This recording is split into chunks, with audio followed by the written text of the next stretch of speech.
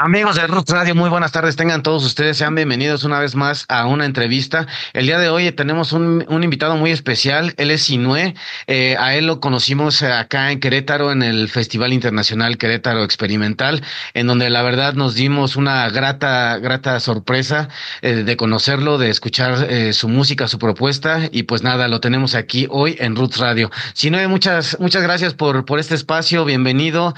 gracias por tu tiempo. Buenas tardes. ¿Cómo estás? Muy buenas tardes, muchas gracias a ti por la invitación, pues muy contento de, estar aquí compartiendo con ustedes y pues gracias nuevamente por la invitación. Por aquí andamos con mucho gusto. Muchas gracias, Sinue. Eh, oye, Sinue, aprovechando esta, esta entrevista, eh, como, como te comentaba hace un rato, nosotros te conocimos acá en, Querétaro, en, el Festival eh, Querétaro Experimental. Y bueno, lo, primero que nos gustaría saber es eh, cómo y cuándo descubriste tu pasión por la música y decidiste em, pues eh, dedicarte a esto, darle, darle tu tiempo, darle tu todo a, la música. Pues es una pregunta muy bonita porque pues la música desde en sí en general, el arte desde, desde muy niño, desde siete, ocho años, yo ya sentía pues esa pasión por, por el arte, ¿no? Ese llamado por el arte. Eh, con lo primero que incursioné fue con, con las letras, ¿no? Con, con este, empecé a escribir cuentos, eh, después empecé a escribir mis poemas y ya después empecé eh, con esta, pues esta curiosidad por la música y por, por un primo que tocaba en rondallas y, y se iban a llevar serenatas y todas estas cuestiones. Entonces, eh, ahí yo conecté con la guitarra y, con el canto. La verdad es que a mí me da un poco como de pena cantar porque no cantaba muy chido, entonces eh, pues eh, siempre le tocaba para mí, entonces que los, los covers me, me, daba pena cantarlos.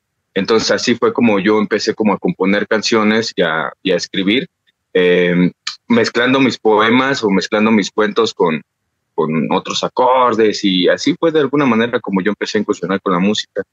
Y empecé con un, grupo de happy punk hace mucho tiempo, tenía yo como unos 14 años y, este, y hacíamos este happy punk, que era lo más fácil como de tocar, ¿no? Y como nadie era músico en sí, eh, eh, en realidad, pues era lo que tocábamos, era lo que hacíamos y era lo que fluía en ese momento. Así pues fui incursionando en otras, en otras bandas, este, bandas de, de, de metal, este, eh, después salsa y fue como una mezcla ahí de cosas.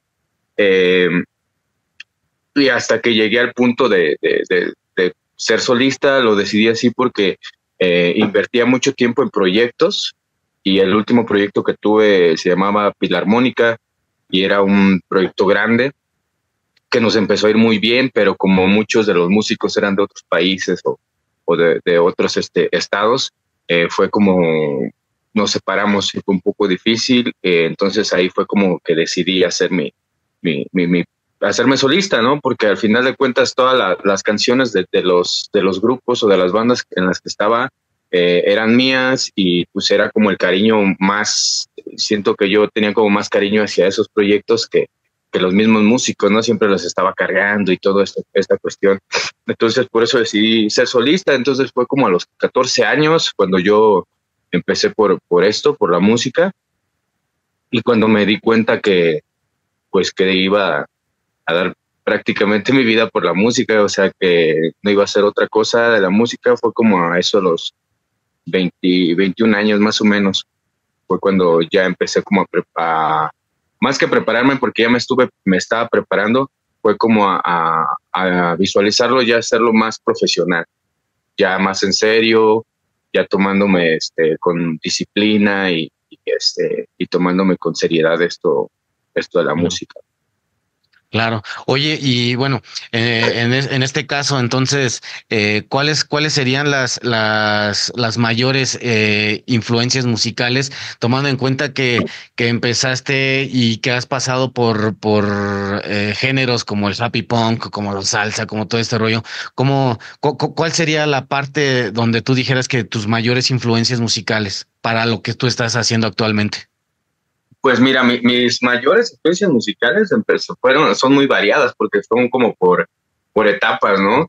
eh, una de las personas que me apasionaba ver mucho era Jim Morrison, los Doors. Entonces esa fue una banda que me conectó mucho y que yo, este, eh, pues me inspiraba, ¿no? Me inspiraba en ellos, me inspiraba en, Morrison, sobre todo en la actitud, en, en, la forma de pensar, en lo, que decía, en, esa profundidad en las, en las letras. Entonces, este, ellos pueden ser una de, mis primeras influencias. Después, Pink Floyd, creo que es una banda que yo puedo seguir escuchando sin problemas, o sea, que todavía la tengo ahí en mi lista. Eh, también es una gran, gran influencia para mí que me marcó. Bjork también es otra, otra muy influencia que tengo muy marcada, también que me gusta mucho. Y en general toda la música latinoamericana, ¿sabes? ahora estoy, he estado muy influenciado por todo este este género de música que le llaman medicina, ¿no? Que son música, música más que nada ancestral, eh, que conecta más con, este, este lado espiritual, este lado eh, de una cosmogonía diferente, ¿no? Una cosmovisión diferente. Entonces, eh, pues va como por, por, géneros, pero pues en sí podría ser él, también Charlie García me, me gusta mucho, eh, Joaquín Sabina en su momento, Spinetta, eh, también me gusta mucho Spinetta, y este y el, rap, el, reggae, el, blues, de todo un poco, la verdad es que me, me, gusta mucho así como variar, no me encierro en, un solo género y me gusta como experimentar eh, en todo eso, por eso fue como que buscando ese rollo, ¿no? Al principio, pues en la secundaria, Ramones, este, Sex Pistols, entonces eso era lo que yo escuchaba y, fue así como cambiando poco a poco. Fui conociendo más géneros y me iba como nutriendo más y más. Pero en general esas serían como las, las, las bandas o, los artistas que, que, todavía puedo seguir escuchando. Muy bien, ¿no? Pues es una, una playlist muy chida también. Oye, aprovechando que tocas ese tema, este, eh, eh, todo esto acerca de la, de la música medicina, ¿cómo, cómo llegaste. Nosotros tenemos por ahí un amigo que seguramente conoces a, este eh, Viento Villicuta. ah, sí, claro, sí, sí, Él ha estado aquí con nosotros también en entrevista. que, que de pronto a lo mejor no toda la, no toda la gente entiende esa parte de lo que es la música medicina, ¿no? Este, a lo mejor igual nosotros también de pronto empezamos escuchando alguna canción de él, algo, y no sabíamos lo que era realmente una música medicina, todas las, las, las formas en las que puedes este, tener las, la, este, ceremonias, este, todo, todo este eh, entorno que tiene la música medicina, ¿no? ¿Qué nos podías platicar tú al respecto de eso, de cómo, cómo llegaste a la música medicina, cómo la vives y, cuál es tu experiencia con eso? Pues mira, es un camino, ¿no? Y, este, y creo que este camino lo empecé desde que yo decidí eh, ser ah, músico, dedicarme al arte. Eh, desde ahí siento que desde ahí empecé como con este camino, porque era más que nada pues una búsqueda de, de que yo buscaba algo más, yo sabía que había algo más, pero pues no me cuadraba lo que me decía la religión, ¿no? Sino que había algo más. Entonces eh, siempre estuve como en esa búsqueda y la música pues siempre estuvo como acompañándome en esos momentos, en, esas filosofías. Y pues em, empecé pues desde leyendo a Don Juan, las enseñanzas de Don Juan de Castaneda, Alejandro Jodorowsky, y empecé con cierto tipo de, literatura, de, muchos poetas, ¿no? Antonino Artao, que, habían probado el hikuri y todo eso. Entonces, ahí empezó como mi curiosidad por, querer este, buscar ese conocimiento de, lo que ellos hablaban, ¿no? Y pues eh, en, su tiempo empecé muy chavo, como desde los 21 eh, años, empecé 20, 21 años empecé a, conocer estas plantas, que fue, lo primero fueron los niños santos, los llamados honguitos, y pues ahí fue como una apertura muy cabrona, ¿no?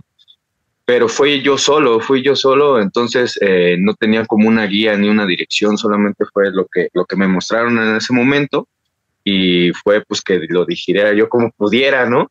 Entonces, este, pues eh, fue, me, costó más trabajo entender qué era lo que, lo que yo quería hacer o lo que tenía que hacer, ¿no? Más que nada porque pues yo siempre fue como la visión esta de, rockstar, de, este, de viajar, de, de, tocar rock, de, de, algo como Morrison, ¿no? De ser como Morrison. Y, y cuando conozco las plantas empiezo a, a, despertar esta parte que le llaman conciencia y pues empiezo a ver la música de otra forma, pero de alguna manera mi ego todavía está como pues eh, luchando con esa parte porque pues él quería la, la, la idea de Morrison entonces, que eso era lo, fue lo, lo que me inspiró a mí eh, para entrar, en, incursionar en esta cuestión de la música. Y cuando llegué al, Hikuri, eh, el Hikuri me, me, me explicó y, y me, me, mostró el poder de la música y por qué era importante cantarle pues a la tierra y a la conciencia, ¿no? Porque eran cosas que el mismo sistema ha reprimido y nos ha, nos ha ocultado de alguna manera y como no lo pueden ocultar, la mejor forma de ocultar es pues poniéndolo al frente y, y poniendo la magia, pintándola como en Hollywood y nos haciéndonos creer que eso está en la fantasía, cuando, y, que la magia es eso, ¿no? Como, ¡pum! abra cadabra y las cosas funcionan, ¿no? Pero la magia está en las cosas pues más sutiles y cuando empiezas a aprender y a ver todas esas cosas, eh, te empiezas a conectar con este camino y esta cosmovisión que dices, wow, ¿no? Este, esto lo tiene que conocer todo el mundo. Y empiezas a ver la responsabilidad. Cuando llegué con el Hikuri, yo prometí eh, grabar un disco a, la Madre Tierra y este y me tardé dos años en grabarlo, pero pues lo grabé y, y, creí que eso era como el final, ¿no? O sea, que dije, bueno, yo ya cumplí, ahora ya, ahora sí a rockstarear, ¿no? Y pues más bien fue como el principio, de ahí fue como entender que eh, yo estaba luchando mucho con, con algo que, quería hacer, pero que no era, y, este, y, no me iba muy bien, ¿sabes? Caía mucho en depresión, estaba expuestos a, a, otras sustancias, ¿no? Porque siempre me han gustado los excesos, entonces fue como toda esta cuestión. Y cuando volví a conectar con la medicina, entendí ya totalmente y fue como no solo entender, sino, sino comprometerme conmigo y comprometerme con, con el camino, ¿no? Con lo que yo quería hacer realmente. Y vi la importancia que tiene la música y el poder que tiene la música también para sanar, no solo para... Eh, es una influencia, te influye, pero aparte eh, sirve para sanar, ¿no? Pero la música, pues en sí, yo creo que toda la música es medicina, ¿no? Hay música para bailar, hay música para, para este, llorar, hay música para todo, ¿no? Hay música también para sanar. En ese caso, pues yo, yo decidí utilizar esta parte de la música para, pues para pasar un mensaje consciente, para, para ayudar a, a un poco a, a recordar esos orígenes y, cuando la gente está perdida, pues recordar que nada más es cuestión de respirar y, volver al centro y, y, seguir caminando, ¿no? Pero esta vez con una dirección, ¿no? Porque la gente camina así, pues ya no sabe, pues para dónde lo lleve la vida, ¿no? Así pues sale y pues a dónde voy, no sé, pues a dónde me lleve la corriente. Y pues la verdad es que tenemos la conciencia que esa nos sirve como para manejar toda esta estructura que es el cuerpo, ¿no? Eh, este, y para manejarlo y tú decidir hacia dónde quieres ir, ¿no? Hacia dónde quieres. No decidir uh, o no ir hacia donde te dijeron que tenías que ir o toda esta cuestión, ¿no? ¿Qué es lo que está pasando? Que mucha gente pues está en sus trabajos y está frustrado, están enojados, todos están estresados porque no les gusta lo que están haciendo y es simplemente porque hicieron caso a, a lo que les dijeron, ¿no? Y no hicieron caso a lo que querían hacer, a lo, a lo que querían hacer. Entonces yo en mi caso ahora que tengo mucho trabajo, la verdad lo disfruto mucho porque no lo veo como un trabajo, porque es, es una pasión, es un amor, es una entrega y, y, es una, me da una, una fortaleza para seguir viviendo, como ganas de seguir viviendo, ¿no? porque creo que tengo un propósito y que estoy haciendo algo, algo que me gusta y que me, y que me sano, ¿no? Y que ya en segundo plano también ayuda a otras personas, ¿no? De alguna manera. Entonces, porque eh, mi intención principal pues es, es estar bien yo y, y, hacer lo que, lo que me gusta, aunque sea a veces un poco como este, egoísta, pero eh, es eso, ¿no? Eh, la verdad es que uno necesita estar bien primero para que después, estando bien, tú puedas ayudar o, o, o apoyar a otras personas, ¿no? si tú estás mal, pues te va a ser difícil poder ayudar o, o, compartir algo bueno, ¿no? Algo positivo. Entonces, de, esa forma lo veo. Y pues este camino me ha ayudado mucho. Eh, yo me cambió mi vida así a 300 grados, eh, 360 grados. Fue así cabrón. Eh, todo el cambio, lo que, lo que empezó mi mente, todo a cambiar, empezó a ver la, la vida de, de formas diferentes. Y pues, gracias a Dios, me, me, me siento muy bien, me vivo muy, muy contento, ya vivo este, con otra visión. Ya los problemas pues los enfrento de una forma pues diferente, ¿no? Pero ya no me, ya no me hunden como, como antes. Y pues por eso decidí estar acá en ah, esta cuestión. Qué, interesante, la verdad, porque sí es, sí es algo este, que, que a nosotros eh, pues también nos ha llamado la atención en algún momento, ¿no? Eh, gracias por compartir esa, esa experiencia tuya, esa eh, forma de haber entrado a, esto y, y, estar ahí, como dices, eh, de alguna manera y en segundo plano ayudando a, a otras personas, ¿no? Este, que a lo mejor ni cuenta te das, escuchan y, pero ya estás ayudando, ¿no? Al momento. Eh, muchas, muchas felicidades por eso. La verdad es algo bien, bien complicado y, te felicitamos por acá en Roots Radio. Aprovechando esta parte, eh, ¿cómo, ¿cómo es que vives tú, por ejemplo, tu, tu proceso creativo al componer una canción, eh, tomando en cuenta obviamente toda, toda esta parte que, que ya nos, que nos, nos has platicado? Eh, ¿Cómo, ¿Cómo vives esa parte de, de, crear una canción, de crear tal vez no todo un disco, pero sí al menos una canción? ¿Cuál es el proceso? ¿Cómo va tu proceso creativo en ese, en ese aspecto? Pues eh, todo empieza desde, pues desde aquí adentro, ¿no, hermano? Entonces, nosotros somos como el reflejo de lo que, de lo que traemos aquí adentro. Entonces, eh, eh, para mi proceso creativo, ha sido evolucionando y en estos momentos ha sido un compromiso de, de, la congruencia, de, lo que yo pienso, lo que yo digo y lo que, y lo que, lo que hago sea, sea congruente, esté como pues alineado. Y, y, pues más que nada ha sido una terapia, ¿no? Una terapia de estar adentro, adentro. Y, y ahí empiezan a nacer eh, pues las canciones en, ese mismo proceso empiezo a hablar de lo que siento y los pasos son diferentes. Puede ser que en el momento salga la canción y yo diga, ya está, ¿no? Pero a veces salen las ideas y ya solamente es como cuestión de pulirla o darle una forma o darle, este, sí, más que nada una estética o una forma con este, a base de pues, recursos literarios o, o, cómo te va, lo que vas sintiendo, ¿no? Pero sin que pierda el sentido de la canción. También eso es muy importante. Eh, el, el, eh, el, en la canción hay, hay tres cosas que son importantes, que es la, la armonía, la melodía y la letra. Entonces, siempre eh, elijo una que va a ser más importante en esta canción, ¿no?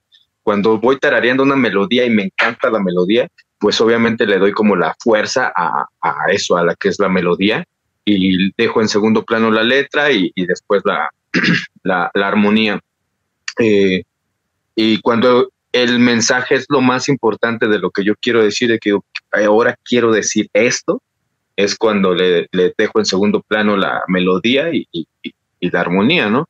Y así es como lo, lo, voy viendo, o sea, tomo como una dirección, siempre tomar una dirección de, a ver, estoy aquí y quiero decir esto, ¿no? O estoy aquí y quiero este, plasmar esta melodía y ponerle una letra. Entonces, eh, es como respetando esos, esos inicios y ya de ahí fluye. Y como te digo, a veces bajan las canciones solitas, de repente estoy con mi guitarra, este, jugueteando y ¡fum! llega una melodía o una letra, ¿no? Y a veces solo llega un pedacito y ya nada más la desarrollo, o a veces llega fluido, o a veces traigo mi libreta, empiezo a escribir y bla, bla, bla, empiezan a salir las, las, las letras, las canciones y ya a veces nada más elijo o a veces las dejo así como están. Eh, sí varía mucho el proceso creativo. Ah, está, está bien chido, está bien interesante porque esa, esa parte le da una vida distinta, una esencia distinta a cada canción. Cada, cada canción tiene algo particular y, y está, está muy chido. Con razón, con razón hay, hay canciones que, que nos gustaban mucho de este lado, así muy, muy puntuales y todo. Este, oye, este, Por ejemplo, ya adentrándonos un poquito más en, tu parte este, individual, ¿no? Eh, ¿cómo, ¿Cómo manejas tú el equilibrio entre, tu vida personal, digámoslo así, y tu vida musical, tu vida profesional? ¿Hay un equilibrio? ¿Vives eh, eh, siempre en, en áreas de, la música o cómo, es tu vida así? Sí, gracias a Dios este, vivo de, mi música, estoy totalmente lleno a la música y es un trabajo que, pues no tiene final, hermano. Sigo trabajando en eso porque eh, a veces es difícil eh, separar el personaje de, músico eh, con, con, la responsabilidad que tienes en tu casa, ¿no? Yo tengo, uh, vivo con mi familia, entonces con mi hijo, con mi esposa. Entonces, esa cuestión también de ahí es como, pues separarte también como, como, como músico, como artista, como padre, como esposo, como amigo y, este, y aparte como pues ¿no? Como estar en tu trabajo espiritual, como contigo mismo. Entonces, eh, yo creo que desde ahí comienza todo, desde el equilibrio que vas teniendo y desde esa disciplina que vas entendiendo de, que no eres ese personaje, de que es solamente a, o sea, sí lo eres porque es una parte de ti, pero no solo eres eso, o sea, sino que claro. eres eso, pero también eres papá, pero también eres esto, también acá, acá, acá, acá. Entonces es como tener bien claro esa parte y saber en qué momento eres el artista, en qué momento eres papá, en qué momento eres amigo, en qué momento este, eh, solamente estás apoyando, ¿no? En qué momento eres staff también puede ser, porque no? Entonces es como eh, eh, esa eh, tener como claro eso y pues eh, a base de, de, de, trabajo como meditación, este, tomarme ese, ese tiempo de, de conciencia, la congruencia que te, que te, estoy comentando, o sea, el, el observarme. Eh, todos han escuchado hablar del tercer ojo, ¿no? Pero el tercer ojo no es que te va a salir el ojo acá y, y vas a ver más cabrón, sino que el tercer ojo está, está aquí, pero ve hacia adentro. El tercer ojo ve hacia adentro, entonces eh, cuando ves, cuando te pasas tiempo observándote hacia adentro, eh, es, es, es muy chingón porque te empiezas a descubrir y te empiezas a conocer más. Y este, y eso influye en lo que, en lo que haces en el arte. Porque no lo comenté ahorita, pero yo creo que uno de lo más, una de las cosas, lo más importante para mí en una composición o en un, este, en un acto artístico es la, la honestidad, ¿no? No, el, no pretender, porque el pretender, todo el mundo puede pretender, pero el trabajo es ser, ¿no? El trabajo sí. es hacer las cosas.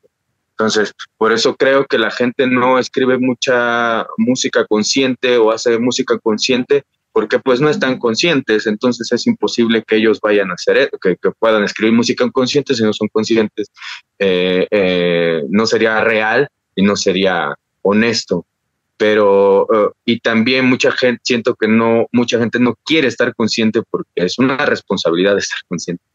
Simplemente pues es la responsabilidad de, de, estar vivo no porque eso es lo que tendríamos que tener en claro todos que somos responsables de nuestra vida y, y no existen culpas no existen tentaciones solamente existe lo que quieres no y este y, y pues las lo, lo, que viene, ¿no? Las acciones que vienen después de tus actos, eh, eso es como que tú eliges, pues, o sea, no es que, ah, la culpa, no, güey, o más bien como observa, y esa es la conciencia, y eso es lo difícil, y es el camino del guerrero, hermano, el que nadie quiere tomar, o sea, porque dicen, no mames, o sea, tengo que estar luchando conmigo, y más que luchando, pues, este, eh, pacificándome, ¿no? pacificándome, tranquilizándome, o sea, observando, ser bien cauteloso, sigiloso y, y, y, y, ver hacia dónde voy, ¿no? Con una dirección bien clara, pues. Una flecha eh, bien derecha. Sí, eso yo creo que es lo que lo que comentas es algo bien cierto. Yo creo que la pelea o la lucha más complicada no es hacia el exterior, sino al interior con, con cada uno, ¿no? De cada uno de nosotros, esa, esa parte de luchar con tu mismo eh, mm, pensamiento tal vez, con, no sé, eh, to, todas esas cosas, yo creo que ha de ser lo, lo más, no lo creo, eh, yo creo que es lo más complicado, es, es lo más difícil. Este, si no, este, quisiéramos también preguntarte, eh, ahorita actualmente estás trabajando en algo, tienes algo en, planeación, este, algún sencillo, algo, conciertos, algo que nos pudieras comentar para si no en, en, lo que viene del, del año, por ejemplo. Pues ahorita tengo este, estoy trabajando en, varias cosas eh, musicalmente. Ahorita estoy eh, terminando mi, mi cuarto disco eh, titulado Me Ofrendo, que sería como mi primer disco totalmente medicina, ¿no? Que va como dedicado a, a, este camino que ya después de, un compromiso y canciones que han estado aterrizando a través de, ceremonias y, ya de estar caminando de, este lado, ¿no? Eh, entonces, em, eh, estoy trabajando en ese disco que ya se grabó, ya ahorita nada más está en la postproducción. Yo espero en noviembre sacar el primer sencillo de, de, mi ofrendo y pues el disco yo creo que va a salir lo tengo planeado ya así lanzarlo en plataformas como a, a mediados del próximo año y pues yo creo que desde febrero ya, ya voy a tener el disco para la gente que quiera eh, obtener el disco, pues ya sería directamente contigo. Súper, súper chingón. Pues de, de, acá te deseamos el mayor de los éxitos, hermano. Este fue una, fue una grata, grata sorpresa el haberte conocido y haber escuchado tu música por acá de este lado. Eh, eh, fue fue revelador, la verdad, fue algo muy, muy, muy chingón y, y, te lo agradecemos. Agradecemos desde, desde luego el tiempo que nos, que nos regalas ahorita, eh, el espacio. Y pues para toda la gente de Roots Radio que nos escucha, ahí estén pendientes para el, el, sencillo y para, para el disco completo. Eh, Sinue, para, para ya este, eh, terminar, eh, nos gustaría, esto normalmente se lo, se lo preguntamos a todos, eh, ¿qué nos gustaría, eh, nos gustaría que, que nos dijeras eh, o que le dieras más bien algún consejo a, a los jóvenes que nos escuchan, eh, a la gente que, que está empezando tal vez, ¿no? O que tiene al menos la, la idea o, o la cosquillita o algo de, querer este, hacer algo artístico, algo musical. Eh, ¿Cuál sería el consejo que tú le darías a toda esta a toda esta gente? El compromiso y, la, eh, y, pues el estar consciente de, de, la, que es una responsabilidad, porque pues la gente te, te, va a ver, ¿no? Entonces, este, trata la honestidad, súper, súper importante, el ser honesto contigo y, que lo que transmitas eh, sea realmente desde aquí adentro, así sea lo que tú digas, lo vaya a decir la otra persona o ya lo ya han dicho muchas personas, eh, si tú eres honesto, va a ser único, ¿no? Porque todas las personas somos únicas, entonces de, de alguna manera eso creo que es muy importante que deben de tener muy claro todo artista o toda persona que va empezando, como comprometerse con, con eso, ¿no? Y este, sí, el ser honesto. Y pues ya yo también les, les, recomendaría, pues, pues a darle un poquito a la, a, la, a la, banda cosas también ya un poco más chidas, ¿no? Más positivas, un poco de, de, música más consciente, de meterle un poquito más coco, más, más sentir también, ¿no? No solamente este, eh, dejarse influenciar por cualquier filosofía y empezar ya a fluir, sino eh, desde ahí, con lo que decía, viene la honestidad y, y este, y pues sí, ayudarnos a, un poquito más de conciencia, porque eso creo que es lo que necesita el mundo, ¿no? Un poco más de, de, música consciente para que la gente también empiece a nutrirse de esa parte, porque pues no solo nos nutrimos por la boca, también por los ojos y por los oídos. Claro, pues eh, Sinue, muchísimas, muchísimas gracias por, por este espacio. Muchachos, ahí sigan, sigan, tomen en cuenta el consejo que nos, que nos da Sinue, eh, sean auténticos, sean conscientes y den algo distinto a la gente que está por acá escuchando. No, no sean de, de, de, lo mismo. Eh, Sinue, muchas, muchas gracias. De verdad, aquí en Root Radio tienes tu casa. Eh, agradecemos gracias, el espacio este, y estamos aquí hombro con hombro eh, este, en, este, en este lado. Eh, por aquí también el staff de, de Root Radio te, te manda un saludo y agradece tu música. Y pues nada, gracias. que tengas una excelente tarde, un excelente día y muchísimas gracias nuevamente. Igualmente, mi hermano, les mando las vibras cósmicas y todas las bendiciones por allá. Gracias a todo el equipo eh, gracias a ti, canal, por la invitación nuevamente. Y pues por acá andamos. Igualmente, por allá los espero en mis redes sociales. Me encuentran como Sinue García, S-I-N-U-H-E García. Por allá los espero.